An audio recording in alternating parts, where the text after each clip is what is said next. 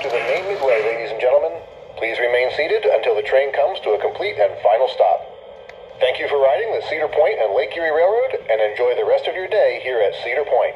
Oncoming riders, please walk to your seats and watch your step as you board. Please keep all hands and arms inside the cars at all times.